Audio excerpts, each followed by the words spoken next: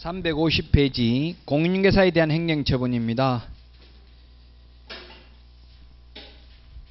맨 밑에 자격 취소 사유입니다. 그 다음 페이지까지 보시면 4개가 있습니다. 자격 취소 사유, 자격 취소, 부양, 정의, 부정한 방법으로 자격 취득한 경우, 자격증 양도 대여한 경우, 자격정지 기간 중에 업무하거나 자격정지 기간 중에 이중 소속이 된 경우, 이 법에 의해서 징역형을 선고받은 경우입니다.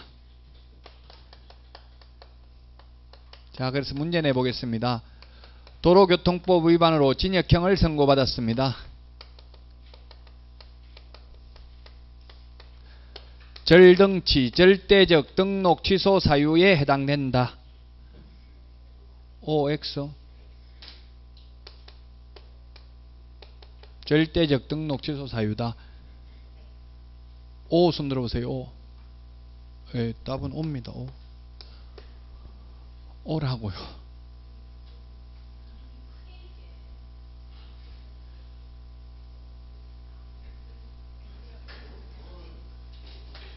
네? 예.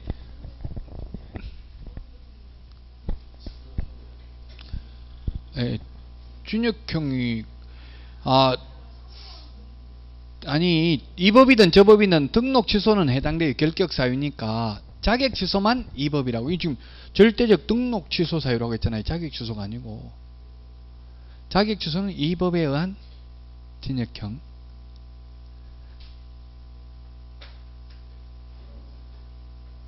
맞죠?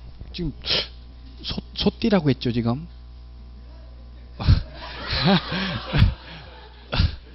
소띠면 나이 몇 살 안 되는데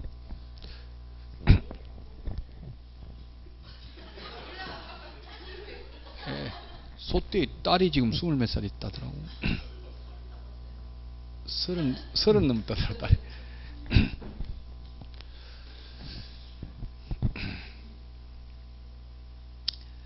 예, 등록 취소는 이 법 제법 안 가리고 등록 취소되고요. 자격 취소만 이 법에 의한 진역형입니다. 이 법에 의한 진역형. 자, 그래서 자격 정지 사유 보겠습니다. 351페이지. 자격 정지 사유는 7가지가 있는데 352페이지 그 박스에 보면 7가지 중에서 1번 6개월짜리 3개 보면 1번, 7번, 6번 3개만 6개월이고 나머지는 3개월이죠. 자, 그래서 이중거민 확인계 이중 6개월이 3개, 3개월이 4개입니다. 이중 소속, 이중 계약서 6개월, 금지 행위 6개월, 그 다음에 인장 등록 3개월 위반, 확인 설명 근거 자료 제시하지 않거나 확인 설명 하지 않는 경우 개업 공개사는 500만 원 이하의 가태료인데 소속 공개사는 아직 자격 정지. 그 다음에 확인 설명서에 서명 날인하지 않는 경우도 자격 정지, 계약서에 서명 날인하지 않는 경우도 자격 정지 사유입니다. 이중거민 확인계 같이 시작. 어, 구체적 기준은 2분의 1 범위 내에서 가중 또는 감경할 수 있습니다. 352페이지 맨 밑에서 세 번째 줄에 자격 취소만 5일 이내 보고입니다. 나머지 등록 취소, 업무 정지 등은 보고 규정이 없습니다. 오직 자격 취소만 5일 이내 보고고요. 353 반납 취소 3개만 반납합니다. 6번 자격 취소 처분 효과 3년 동안 결격 사유에 해당되고 3년 동안 다시 자격을 취득하지도 못합니다. 양가로 2번 자격 정지 기간 중에도 결격 사유이므로 다른 데 가서 취직할 수도 없습니다. 거래정보사업자인데 하기 전에 자격증 반납 자격증 자격 취소, 자격 정지, 자격 취소되면 자격증 반납, 미반납 시. 과태료, 과태료 부과, 그 다음에 자격증 재교부, 다음에 청문. 자격 취소하는 경우 청문. 그 다음에 자격 정지하는 경우 의견 진술 기회. 자격 정지. 자 1번부터 5번까지는 모두 다 교부한 시도지사입니다. 교부한 시도지사. 그런데 교부한 시도지사와 사무소 관할 시도지사가 서로 다른 경우에 사무소 관할 시도지사는 자격 취소 또는 자격 정지 처분에 필요한 절차를 모두 이행한 후에 교부한 시도지사에게 통보해야 된다. 이 말이 350페이지. 350페이지 2번에 양가로 1번에 있죠 지금 350페이지 밑에서 한 10번째 줄 2번에 양가로 1번 지금 읽은 내용이 있다고요. 그게 바로 뭐냐면 청문하고 의견 진술기에는 사무소 관할 시도의사가 한다 이 말이에요 이게.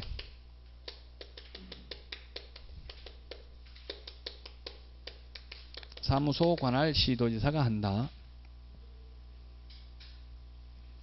교부한 시도지사가 하는 거, 사무소 관할 시도지사가 하는 걸 구분하시라고요. 자, 그 다음에 다시 이제 그러면 거래정보사업자 지정 취소로 가겠습니다. 거래정보사업자 지정 취소. 지정 취소는 354페이지에 밑에 있는데 이거는 이미 201페이지에서 했습니다. 부, 운, 정, 일, 해 같이 시작. 부정한 방법으로 지정받은 경우 운영규정을 위반해서 정보망을 설치 운영하면 500만원 이하의 가태료를 병과할 수 있고요. 정보 거짓 공개하면 1년 이하의 징역이나 1000만원 이하의 벌금을 병과할 수 있고요. 지정받은 날로부터 1년 이내에 정보망 설치 운영이 불가능한 경우 개인 사망, 법인 해산 등으로 정보망 설치 운영이 불가능한 경우에 지정, 지정을 취소할 수 있습니다. 자, 그 다음에 356페이지 벌칙입니다. 벌칙. 벌칙인데 벌칙도 시험에 두 문제 출제됩니다. 벌칙이 행정벌이 시험에 두 문제가 출제되는데 행정벌은 행정형벌이 있고 행정 형벌이 있고 그 다음에 행정 질서벌이 있습니다. 행정 형벌은 3년 이하의 징역이나 2천만원 이하의 벌금, 1년 이하의 징역이나 1천만원 이하의 벌금, 질서벌로서 가장 무거운 게 3천만원 이하의 가태료, 그 다음에 500만원 이하의 가태료, 100만원 이하의 가태료, 취득세 3배 이하 가태료가 있습니다. 입주권, 분양권인 경우는 취득세를 내지 않기 때문에 취득가액의 5% 범위 내에서 가태료 부과하는 게 있습니다. 어, 진역하고 벌금을 병과할 수는 없습니다. 둘 중에 하나입니다. 그리고 모두 다 이상이 아니라 이하입니다. 이하. 우리 변호사법이나든지 저작권법에는 진역과 벌금을 병과하는 경우도 있습니다만 공인중개사법에서는 둘 중에 하나고 전부 이하입니다. 형법 256조에 보면 살인을 한 자는 사형, 무기징역 또는 5년 이상의 유기징역에 처한다 이렇게 되어 있습니다. 5년 이상입니다. 살인죄는. 근데 우리는 전부 다 이하라고 이하. 자 그래서 3년 이하의 징역이나 2천만 원 이하의 벌금 단순히 암기해야 되는 겁니다. 무부관직상투 같이 시작. 무등록 개업 공인중개사 부정한 방법으로 등록한 자. 그 다음에 분양 관련 우리 교재 357페이지 그 오, 양가로 5번까지 있습니다. 어, 양가로 3번이 분양 관련 정서 매매를 업으로 하거나 중개하는 행위, 의뢰인과 직접 거래, 의뢰인 쌍방을 대리하는 행위, 탈세 목적으로 미등기 전매 등 투기를 조장하는 행위. 1번, 2번, 3번, 요 두 개가 4번 같이 돼 있죠? 직접 거래 쌍방 대리. 투기 조장하는 게 5번입니다. 무부 관직 상투 같이 시작. 그 다음에 1년 이하의 징역이나 천만원 이하의 벌금, 유사, 이중, 양도, 임정비광, 임정비광, 매무수, 그 같이 시작.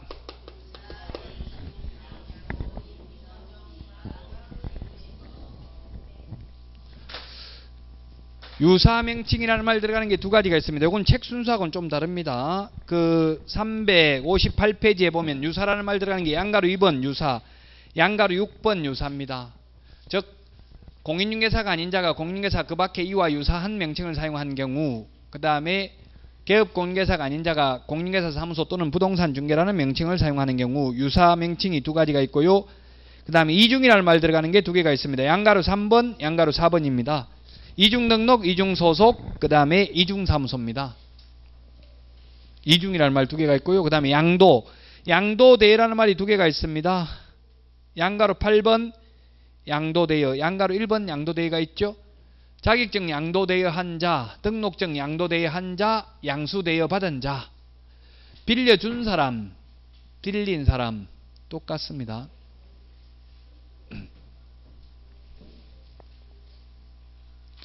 빌리 살인하라고 시키는 사람, 살인하는 사람 똑같습니다. 처벌 규정이 법정형은 자, 그 다음에 임정비할 때 임이 뭐예요? 임시중개시설물 뜻다방입니다. 임시중개시설물 뜻다방 몇 번에 있어요?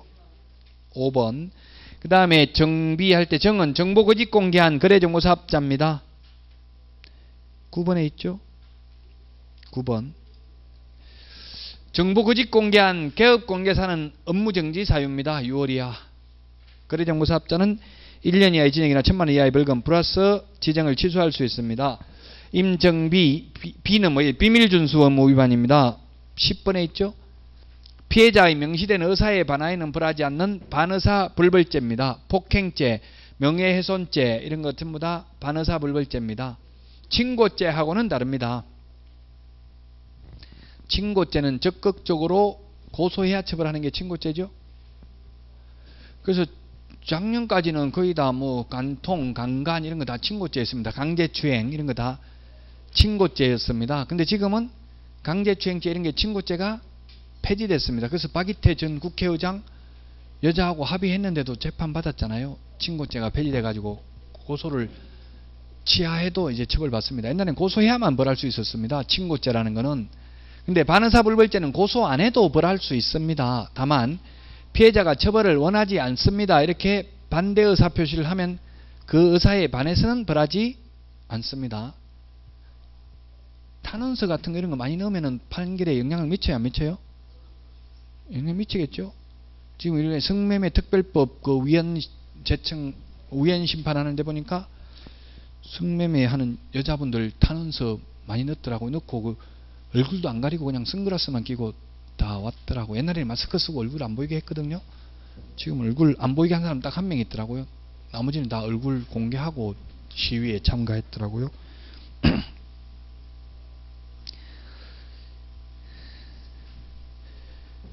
자, 그래서 어, 비밀준수, 반의사불벌죄 제가 하나밖에 없고요. 광, 광이 중요합니다. 광고, 표시 광고, 무등록 기업 공개사가 중개사물에 대한 표시 광고를 하면 1년 이하의 징역이나 천만 원 이하의 벌금에 처합니다. 몇 번에 있습니까? 7번 이게 중요합니다. 만약에 개업 공개사가 중개사물에 대한 표시 광고를 하면서 네 가지를 표시해야 됩니다. 소재지, 중개사무소 명칭, 성명, 전화번호 이 네 가지 표시 안 하면 100만 원 이하의 과태료. 무등록 개업 공개사가 표시 광고를 하면 1년 이하의 징역이나 천만 원 이하의 벌금. 그 다음에 매무수거는 11번부터 있죠. 11번부터 14번까지.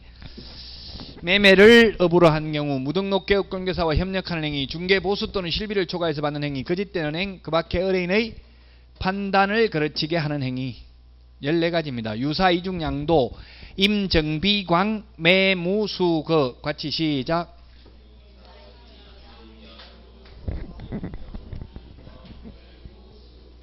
동광, 팔광 할 때 비광 비광 팔았다 이렇게 생각하면 되겠죠. 비광. 고수업도 안 쳐봐서 모르죠. 그런 거. 비광, 비광. 비밀준수. 한 번 더 유사, 이중양도, 임정비광, 매무수거 시작.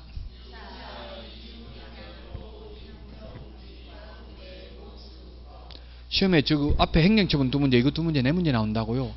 공개사법에서 꼭 암기해야 될 게 이 두 개, 네, 개- 네 문제면 10점이에요. 이걸 포기해버리면 고득점 할 수가 없어, 10점이라서. 요거 10점이고 나머지 또 반드시 암기해야 되는 게 계약서, 금융계약서 필요직기사항, 실거래가격 신고해야 될 사항, 확인 설명해야 될 사항 9가지, 정속중개계약 시 정보 공개해야 될 내용. 요 다섯 개 암기하면 두 문제 나오거든요. 그럼 15점이에요, 15점 단순히 암기하는 게. 요거는 꼭 계속 암기하다가 안 되면 해도 해도 안 되면 그냥 시험장에 갈 때 허벅지에 써붙이고 가도 되고 아니면 1차 시험 보고 나서 올해부터 50분 쉬죠 50분? 작년에는 20분 쉬었는데 30분 더 줍니다 올해부터. 50분 동안 제발 부탁하건데 1차 시험 몇 점 나오는지 채점 하지 마십시오. 맞춰보지 말라고 50분 동안.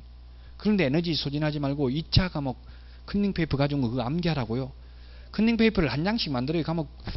저 같은 경우는 한 장에다가 그냥 A4 용지 이거 접어가지고 한 장에다가 컨닝페이퍼 4등분으로 접어가지고 여기다가 2차 네 과목 다 적었어요. 이게.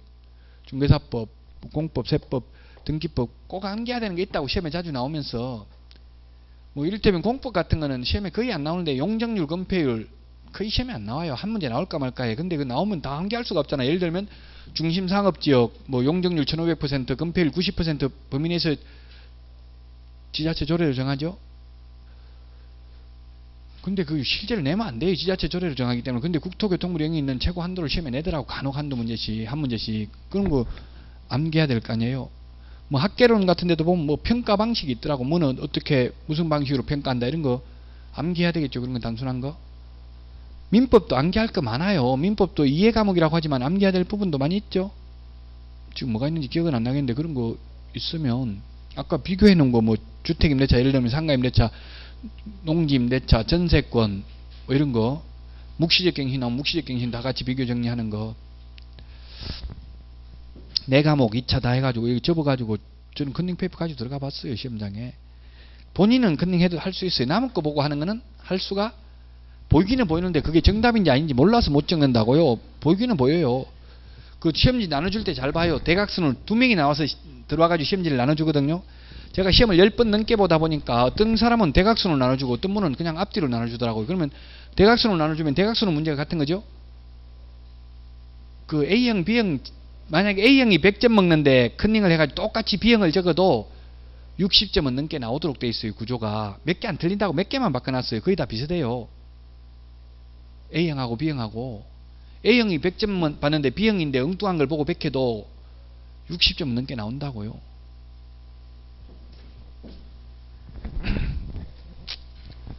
그러니까 2차는 계속 암기 듣고 잊어먹고 듣고 잊어먹고 반복하면 고통만 받을 준비만 돼 있으면 돼요. 모의고사 보고 참을 수 있고 모의고사는 꼭 봐야 되겠죠. 안 보면 나중에 손이 떨려가지고 OMR 카드 마킹이 안 돼. 들들들 떨고 막 긴장돼가 이렇게 하고 있- 계속 이렇게 떨고 있어가 제가 손을 꼭 잡아준 적이 있어 요 이걸 못 해가지고 못 해가지고 있으니까 못 하더라고요. 마킹을 해봐야 돼요. 굉장히 어려워요 마킹하기가 아니면 그 이거 수성 뭐그 사인펜 딱 한 번 누르면 탁 되는 거 있던데 그걸 뭐라고 하지 이거 수성 사인펜인데 근데 이렇게 안 계속 안 하고 그냥 한 번만 쿡 누르면 그냥 크게 되게 되는 거 있다고 이렇게 마킹 되는 거 있죠 한 번만 누르면 이게 양쪽에 돼 있다고 하나는 좀 크게 돼 있고 하나는 좀 가늘게 돼 있어가지고 하나는 이렇게 계속 이렇게 해야 되고 하나는 그냥 한 번만 점 찍으면 딱딱 되게 돼 있는 게 있다고요 실제로는 이렇게 마킹이 돼 있으면 여기 대충 대충 이 정도만 해도 이게 다 체크가 된대요. 대기는 컴퓨터가. 근데 우린 불안하잖아. 이렇게 해가 또 혹시 안 될까봐 불안해가지고 막 이렇게 하다 보니까 조금 나갔어요. 또 이래가지고 이게 또 또 안 됐나 싶어가지고 이거 근데 사실은 다 된 인식을 한대요. 이게 거의 다. 근데 제가 할 줄은 착실한 모르니까 한다고만 들었는데 그렇게 해놨잖아요. 어, 저 그걸로 뭐지? 뭐 수, 수정 테이프로 수정할 수 있죠. 하얀 거 수정 테이프로 수정할 수는 있는데 다만 기계가 오작동 해가지고 그걸 인식 못하면 책임은 수험생에게 있다 이렇게 돼 있죠. 불안하잖아. 그래서 이게 수정 테이프 해도 또 안 될지도 있지 불안하다고. 웬만하면 다 되긴 된대요. 수정 테이프 있잖아요. 그 테이프를 이렇게 바르고 다시 거기다 칠하면 된다고. 그 10분 남았는데 2차 시험 답안지 바꿔달라고 하면 바꿔줘요? 안 바꿔줘요? 감독관이. 바꿔준다고? 왜 안 바꿔줘요? 10분 만에 120문제 마킹 못해요. 안 해줘요. 10, 10분 만에 해달라면 안 해줘요. 15분 남았는데 해달라 해도 안 해줘요. 왜냐면 15분 만에도 못해. 120문제 이거 마킹 다. 그러니까 한두 문제 그냥 틀리면 그대로 나나요. 그렇게 100점 받을 필요 없잖아요. 어쩔 수 없는 거예요. 모르겠어요. 저는 개인적으로 이거 절대로 120문제를 한 번에 10, 15분 남았습니다. 이렇게 10분 남았습니다. 계속 말을 하거든요. 30분 남았습니다. 말을 해요. 30분 남았습니다. 20분 남았습니다. 10분 남았습니다. 막 이렇게 감독관이 좀 다른데 말을 계속 하더라고요. 제가 시험 보는데 신경 예민한 여자분은 막 책상을 치면서 그만해 하고 막 근데 지- 그걸 막 이렇게 소리 지르고 이런 것도 있더라고요. 또 소리 지른다고 옆에서 왜 소리 지르는지 하고 싸우고 막 이렇게 해요. 그뭐 불안해가지고 그때부터는 안 돼. 손 떨리가지고. 그래서 제 생각에는 한 문제 풀고 한 문제 하기가 힘들면 최소한 40문제 2차가 세 과목이고 한 문제 풀고 하나는 마킹 해놔야 돼요. 그럼 마지막에 중개사법, 그 다음에 공시세법, 마지막 공법인데 그럼 공법 볼 때는 최소한 두 개는 마킹돼 있고 해야 좀 덜 불안하지. 10분 남았다고 하는데 100문제 도저히 못해요. 한 번만에. 미리 한 과목 끝나면 마킹 해놔요. 모르는 거 있으면 그냥 모르는 거 있으면 비워놓든지 비워놨다가 나중에 한 번에 하다가 그냥 그런 것이 꼭 사고 납니다. 한두 건. 중간에 3번을 지금 마킹 안 하고 비워놨어요. 이거 지금 못- 문제 못 풀어가지고. 근데 4번 걸 갖다 3번에다가 잘못 쪄가지고 한 개씩 밀려가지고 떨어지고 이런 사람 꼭 있어요. 그럼 웬만하면 그냥 그 자리에서 생각나는 거 하고 나중에 한다고 생각 안 나요. 언- 처음 모르는 게 영원히 모르지 그게 갑자기 알아지냐고요. 모르던 게 그냥 모르면 그 하나 그냥 대충 네 개, 다섯 개 중에 하나 찍고 넘어가요. 어차피 객관식인데 그 한 개 때문에 이 중 두 개 찍어 놓으면요. 아 마킹을 3번도 하나 하고 4번도 해놓고 이러면요. 그러면 안 돼요. 원칙 원칙적으로는 안 돼요. 원칙적으로 안 되는데 모르겠어. 저도 기계가 하는 거라서 그렇게 될 것 같으면 전부 다 뭐 1, 2, 3, 4, 5번 다 마킹 다 해놔버리면 100점 나오겠죠. 만약 1번부터 5번까지 다 마킹 해버리면 그 중에 하나는 걸릴 거 아니에요. 예를 들면. 예. 모르겠어요. 그 수작업하니 그까지는 제가 모르겠어요. 근데 이 신청을 하면은 그 산업인력공단 각 지사에 가면은 그 보여주더라고요. 그뭐 제가 아는 사람도 울고불고 분명히 합격했는데 합격했다고 잔치까지 이미 다 하고 벌써 회식도 다 하고 이미 동네 소문 다 내놨는데 떨어져 버렸어 한 문제 때문에 그 최종 발표나고 나면 해요. 그런 거 돈 쓰는 거는 괜히 미리 다 해놨다가 나중에 뒤바꾸기 엄청나게 힘들어요. 그다 해놓고 이제 막 합격했다고 벌써 사무실까지 다 얻어놨어요. 이미 이제 개업한다고. 그런데 보니까 떨어져 벌써 한 문제. 가서 보니까 OMR 카드 자기가 마킹 잘못했더라고요. 시험지까지 나온 시험지에는 분명히 합격했는데 마킹이 잘못된 거예요. 자기가 마킹을. 똑같이 해가지고 나와요. 그래서 이게 OMR 카드에 마킹한 대로 시험지에 체크해가지고 나와야 되지. 엉뚱하게 해가 나와가지고 합격했다고 했는데 나중에 OMR 카드는 불합격되고 이런 사례도 꼭 있어요. 한두 건은. 그래서 꼭 60점에 딸랑 60점 맞아가지고 합격하려고 생각하지 말고 목표는 한 70점 정도 잡아야 60점 낸다. 목표는 좀 높게 잡아야 되죠. 안타까운 건 어떤 분은 공법은 40점, 중개사법 80점 이렇게 한다던데 불가능입니다. 40점 목표를 하는데 40점이 나오냐고요? 안 나오죠? 공법이 최고 쉬워요. 2차 과목 중에서는 공부하면 할수록. 근데 어떤 분은 공법을 40점, 중개사법을 80점 하는데 공개사법 80점, 뭐 아무리 쉬워도 80점 받기는 쉽지 않아요. 그게 과목별로.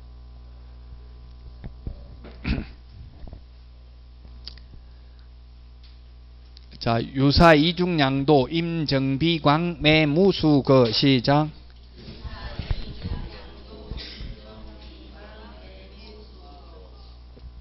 단순히 암기해야 됩니다. 꼭 적어가지고 나중에 안 되면 시험장에 가져가셔야 돼요. 359페이지 양벌 규정입니다. 소속 공인회사 중개보조원 또는 중개법인의 사원 임원이 중개무에 관하여 행정 형벌을 위반한 경우, 즉 진역 벌금에 해당되는 위반 행위를 한 경우에는 그 행위자를 벌한 외에 그 개업 공인회사에 대해서도 해당 조에 규정된 벌금형을 과합니다. 즉 직원 잘못으로 절대로 진역을 가는 일은 없습니다. 왜냐하면 우리나라는 자유민주주의 국가이기 때문에 에, 남편이 살인범이라도 부인은 처벌받지 않죠. 부부간에도 자식이 살인범이라도 부모는 처벌을 받지 않죠. 근데 심지어 부모 자식도 아닌데 직원이 잘못한 거 가지고 진역까지 보낸다고 하면 직원 고용 못하잖아요. 무서워서. 그래서 벌금형을 과합니다.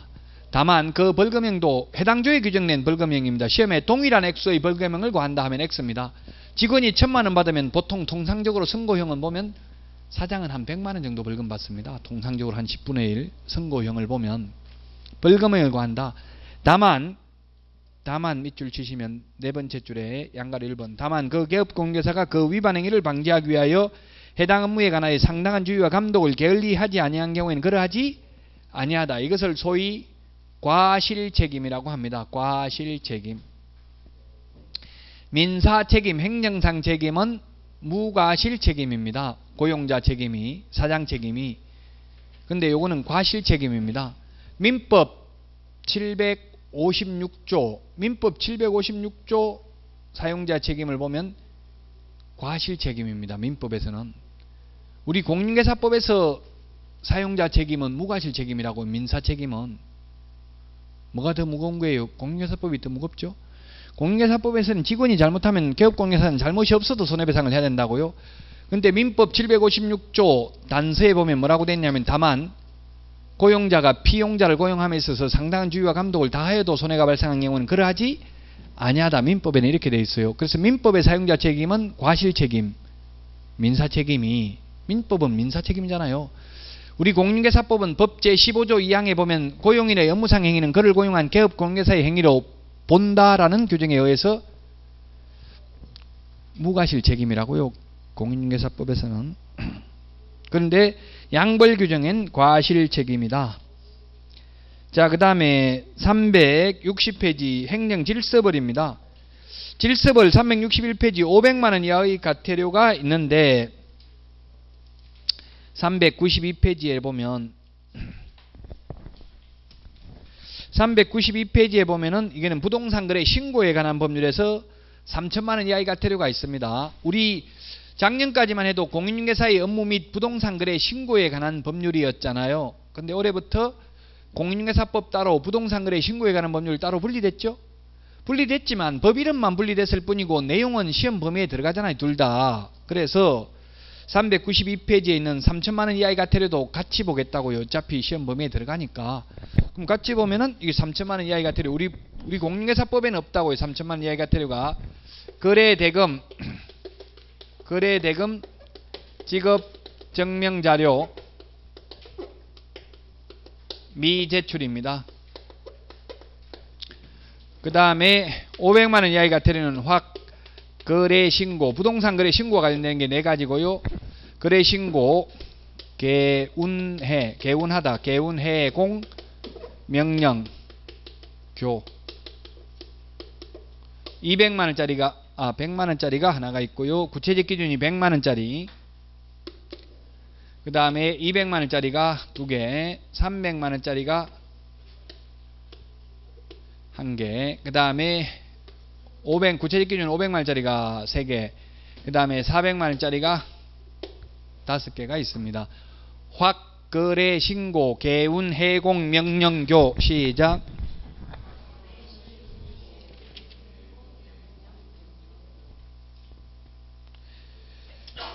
어, 먼저 아까 그 부동산 거래 신고, 부동산 거래 393, 393에 부동산 거래 신고에 관한 법률하고 같이 지금 보겠다고요. 어, 500만원 이하의 가태료가 393에 보면은 4개가 있죠? 393 4개가 바로 뭐냐면 이게 거래 신고입니다. 무슨 거래 신고? 부동산 거래 신고. 줄여서 4글자를 맞는 거예요. 4개이기 때문에. 그 거래 신고라는 말이 393페이지 4개를 줄인 말입니다. 첫 번째, 부동산 거래 신고 또는 주택 거래 신고를 하지 아니하거나 공동 신고를 거부한 자 구체적 기준은 500만 원이고요. 그 다음에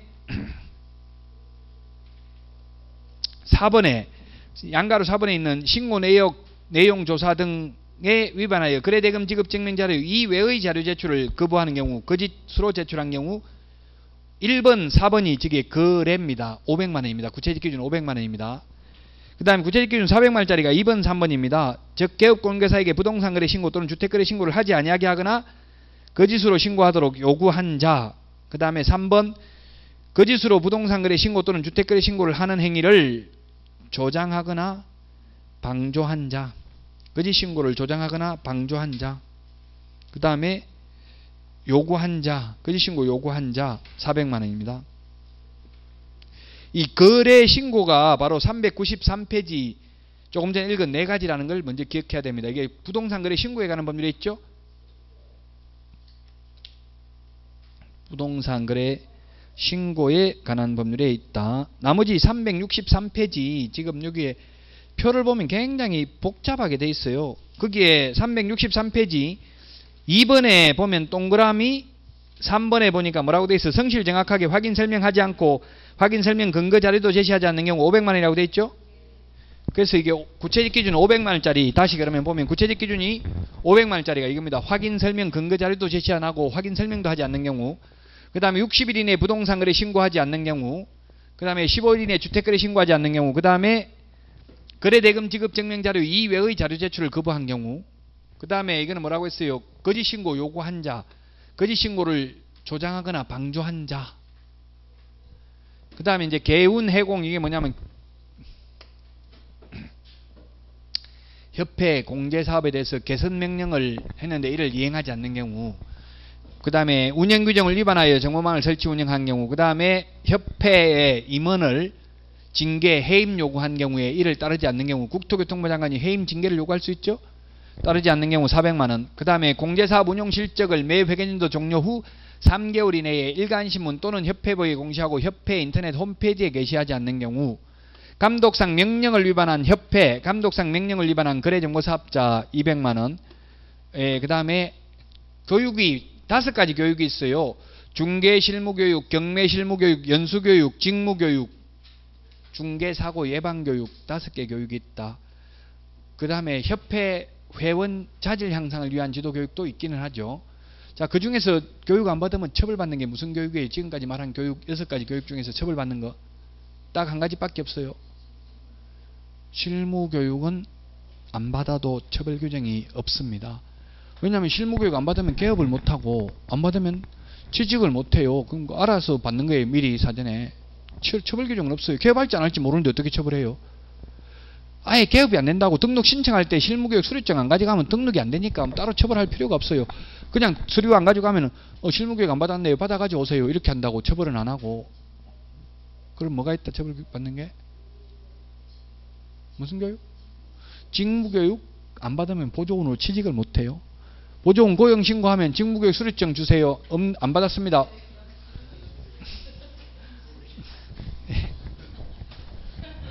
예, 연수교육입니다. 연수교육은 2년에 한 번씩 받습니다. 오늘 문제 있나요? 연수교육 2년에 한 번씩 받는데 교육하기 2개월 전까지 통보해 줘야 된다 이런 말을 오늘 몇 번 문제 있나요? 오늘 문제 있을 텐데 7일 전까지 통지해야 된다 그렇게 해가지고 X 2개월 전까지 통지해야 된다 없나요? 12번 해, 12번 해설 봐봐요 해설 12번 해설 보면 연수교육은 2년마다 한 번씩 실시하고 교육 2개월 전까지 통지해야 되죠? 중요합니다. 이게 올해 7월 작년 7월 29일부로 신설돼 가지고 올해 처음 시, 시험에 반영되니까 중요하다고 이 문제가 작년까지는 연수교육을 7일 전까지 통지했거든요. 7일 전까지 올해는 언제까지요? 2개월 전까지 통지한다. 2개월 전까지 작년에는 연수교육 대상이 개업 공인중개사 등이 받았어요. 작년까지는. 아, 근데 올해는 개업 공인중개사 등이 연수교육 받는 게 아니라 개업 공인중개사와 소속 공인중개사만 받죠. 작년에는 연수교육을 실시할 수 있었습니다. 임의교육이었어요. 작년에 연수교육이라는 게 올해는 중개사고 예방교육으로 이름이 바뀌었어요. 연수교육이. 올해 연수교육은 작년 연수교육하고는 완전히 달라졌기 때문에 중요하다고요. 시험에. 그래서 이 연수교육을 안 받으면 최대 100만 원까지 가태료 내야 됩니다. 이제 2년이 지나도 안 받으면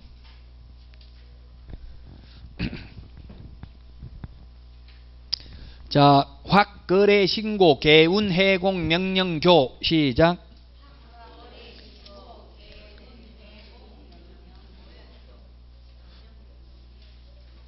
확이 확인 올해 확 중요해요. 확 저것도 확이 확인 설명 근거 자료 제시하지 않고 확인 설명도 안 하면 500만 원 구체적 기준이 둘 중에 하나 안 하면 400만 원. 아까 우리 교재 그 363페이지에 보면 둘 중에 하나를 안 하면 400만 원, 둘 다 안 하면 500만 원입니다. 자, 그 다음에 364페이지 100만 원 이하이가 되렵니다. 100만 원 이하이가 되려 9개가 있죠? 9개 보면 500만 원짜리가 몇 개가 있나요? 500만 원짜리가 4개, 그 다음에 300만 원짜리가 3, 3개, 4개, 300만 원짜리 4개, 20만 원, 아 30만, 300만 원이 아니고 30만 원 4개, 20만 원 하나죠? 5번에.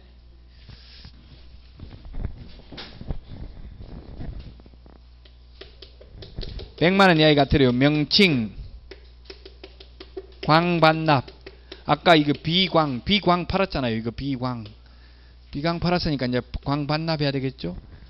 명칭 광 반납 보이게 휴 같이 시작. 대전말 같잖아요. 이거 보이게 휴. 명칭 광 반납 보이게 휴 시작. 보이게 휴. 저, 저는 충청도 와서 가장 충격받았던 게 옛날에 잊을 수가 없어요. 공주에서 그 특강하고 나오니까 할머니가 그 야채 같은 거 팔고 있더라고 나물 같은 거. 그래서 안 됐어서 사주려고 얼마 드릴까요? 물어보니까 알아서 주유 하더라고 그래서. 그럼 천원 드리면 될까요? 하니까 냅두유 소나 주게 이렇게 하더라고. 그럼 도대체 얼마를 달라는 건지 막 미치겠더라고. 사람 미치겠어. 차라리 그만 얼마 달라고 하면 줄 텐데. 그래가지고 충격을 많이 받았어요 저는 의사표시를 하세요 그냥. 50만원 30만원 20만원. 대전은 별로 크게 그렇지 않죠. 대전에는 외부 사람도 많은 것 같은데 많지 않아요. 안 맞나 보다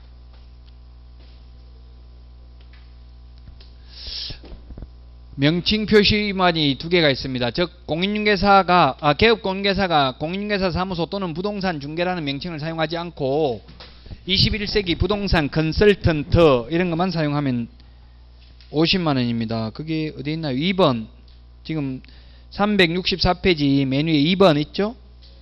2번 그 다음에 9번 2번 9번 두 개가 있는데 명칭이라는 말이 2번은 개업공개사가 공인중개사 사무소 또는 부동산 중개라는 명칭을 사용하지 않는 경우 9번은 소위 중개인이 공인중개사 사무소라는 명칭을 사용한 경우입니다.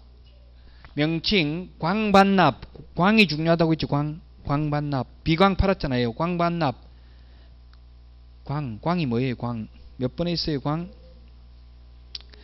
예, 3번 이게 중요하다고 했잖아요. 무등록 개업 공개사가 중개 대상물에 대한 표시 광고를 하면 1년 이하의 징역이나 천만 원 이하의 벌금. 개업 공개사가 중개상물에 대한 광고를 하면서 사무소 소재지, 명칭, 성명, 전화번호를 표시하지 않는 경우는 100만 원 이하의 과태료, 구체적 기준은 50만 원. 광 반납인데요. 반납인데 거기에 반납 중에서 자격증, 등록증 반납인데 등록증을 반납 안 하면 50만 원, 자격증 반납 안 하면 30만 원입니다. 어떤 분이 왜 그런지 묻더라고. 왜 자격증이 더 중요한데 자격증 반납 안 하면 30만 원이고 등록증 반납 안 하면 왜 50만 원입니까? 묻길래 제가 저도 모르겠다 이렇게 하고 그 국토부 장관한테 물어봤어. 왜 그러냐 이렇게 저도 물어보니까 국토부 장관 하는 소리가 법은 내가 만든 게 아니고 국회에 만들었으니까 국회의원한테 가서 물어봐라 이렇게 하더라고요. 국회의원한테 가서 물어보니까 나는 손 만들었지 내가 만든 거는 아니다 이렇게 하고 아무도 안 알려줘 왜 그런지는 그래서 사실 저도 논리적으로 설명할 수는 없어요. 제 개인적인 사견을 말씀드리자면 굳이 등록증은 이게 등록증은 개업공개사라는 표시가 되는 거죠. 자격증은 걸어놔도 폰만 잡는 거지 자격증 걸어놨다고 중개할 수는 없잖아요. 그 등록증을 걸어놓으면 반납 안 하고 이거는 일반 국민들이 개업공개사라고 오인할 수 있잖아요. 그래서 아마 그런 것 같아요. 어쨌든 등록증 반납 안 하면 50만 원, 자격증 반납 안 하면 30만 원입니다. 자격증 이거 따놓으면 빨리 개업해야 돼요. 너무 오랫동안 개업 안 하니까 저 같은 경우는 1999년도에 자격증 땄는데 지금 사무실 걸어놓으니까 완전히 사진이 너무 어려가지고 사람들이 저 어린애 쟤 누냐고 이렇게 자꾸 물어서 지금 자격증 재교부 받으려고 해 기분 나빠가지고 예, 너무 안 좋더라고요. 빨리 개업을 해야 돼. 그래서 현재 얼굴을 보여주는 게 좋다고요. 자, 그 다음에 손해배상을 보장하기 위한 보정 설정을 안 하면 임의적 취소하고 보장 금액 등을 설명하지 않거나 보증관계 증서를 교부하지 않는 경우는 30만원 몇 번에 있어요? 6번? 6번 사무소 이전 신고 의무 위반 옮기고 나서 10일 이내에 사후에 이전 후 등록관청에 신고해야 되는데 안 하면 100만원 이하가 되려 구체적 기준 30만원 몇 번에 있어요? 4번 그 다음에 개시 의무 위반 개시 개시해야 되는 게 뭐 있어요? 등수 보호자 몇 번에 있나요? 개시 의무 위반은? 1번 등수 보자, 중개사무소 등록증 원본, 자격증 원본, 보수여율표, 손해배상을 보장하기 위한 보정설정 영명서류 네 가지 게시를 해야 된다. 안 하면 100만 원 이하의 가태료 구체적 기준 30만 원. 자, 명칭, 광, 반납, 보이게, 휴 같이 시작. 한 번 더 명칭, 광, 반납, 보이게, 휴. 예, 시험에 다음 중 구체적 기준이 다른 하나는 1번, 2번, 3번, 4번, 5번 이렇게 나올 수 있겠죠. 시험에 출제됐어요 이미 과거의 구체적 기준이 좀 어렵습니다. 자, 그 다음에 취득세 3배 이하 가태료 이거는 부동산 거래 신고에 관한 법률에 있어요. 뒤에 부동산 거래 신고에 관한 법률에 의하면 거짓 신고한 자 거짓 신고하면 취득세 3배 이하인데 입주권 분양권인 경우에는 취득 가격의 5% 범위 내에서 가태료 부과한다고요. 이거는 저 뒤에 부동산 거래 신고에 관한 법률에 나오는데 미리 본다고요. 자 그러면 500만원 이하의 가태료와 100만원 이하의 가태료는 그 구체적 기준의 2분의 1 범위 내에서 3천만원 이하의 가태료와 취득세 3배 이하의 가태료는 그 구체적 기준의 5분의 1 범위 내에서 가중 또는 감경할 수 있습니다. 가중하더라도 법에서 정하고 있는 기준금액은 초과할 수 없습니다. 아까 업무정지, 자격정지의 구체적 기준은 국토교통부령으로 정하고 있다고 했는데 이 가태료의 구체적 기준은 대통령령으로 규정하고 있습니다. 가태료의 구체적 기준은 대통령령으로 규정하고 있다.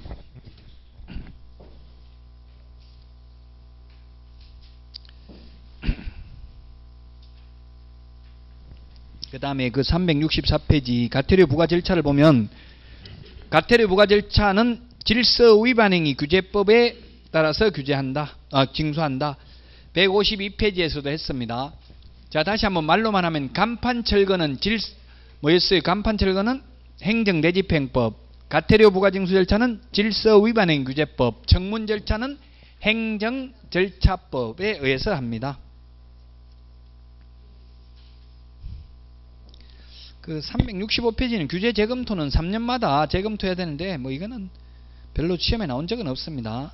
계속 규제를 하면 안 되고 이제 규제를 가급적이 완화해야 된다는 취지고요.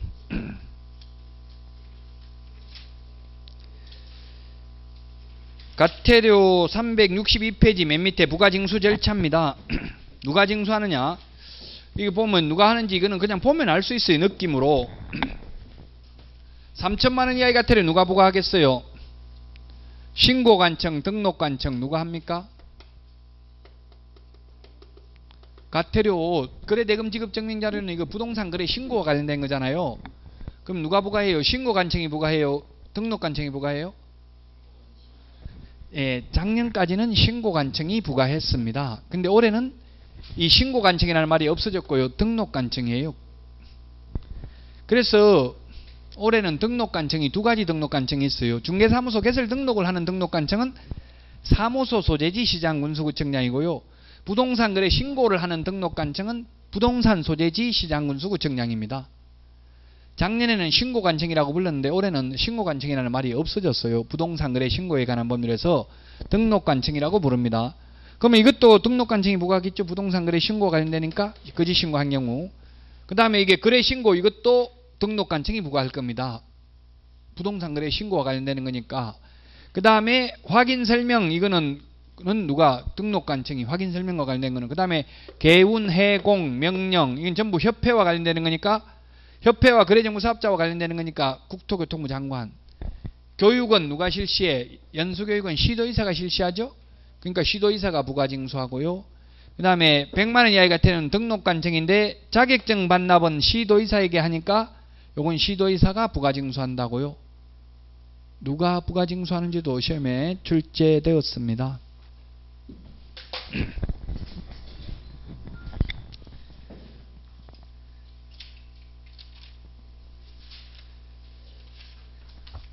자, 그 다음에 374페이지 부동산 거래 신고에 관한 법률이 있는데 여기부터는 부동산 거래 신고에 관한 법률 잠깐 5분만 쉬었다가 한 1시 반 정도 돼서 마치겠습니다. 쉬었다 하겠습니다.